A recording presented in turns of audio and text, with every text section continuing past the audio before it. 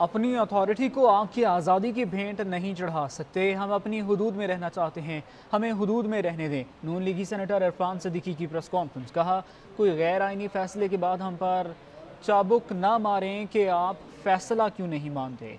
आप आइन नहीं बनाते। आइन और कानून हम बनाते हैं। आपने पार्लियामान को नहीं, पार्लियामेंट ने आपको बनाया है। हमने एक सिस्टम तय किया कि आइंदा अदालतों के जज साहिबान के लिए एक निज़ाम हो।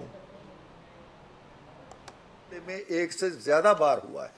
बार बार आइन को तोड़ा गया है और बार बार 2017 के कानून को तोड़ा गया है। अगर हम आइन से मुतसादम कोई चीज़ करते हैं तो एक फोरम मौजूद है अदलिया ठीक कर देती है। अदलिया अगर ये वही काम करे जो हम करते हैं तो कौन ठीक करेगा? फैसले के अंदर ऐसी ऐसी चीज़ें हुई हैं जो अनहोनी है। एक पार्टी ज्वाइन कर ली जिसका नाम था आ, सुन्नी इतिहाद कौंसल।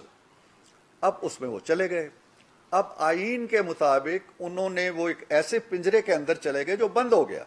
आप वो ताला खोलते हैं, पिंजरा खोलते हैं जो आइन इजाज़त नहीं देता और परिंदों को कहते हैं, बाहर आ जाओ। वो बाहर नहीं आ सकते। कानूनन और आइनन नहीं आ सकते।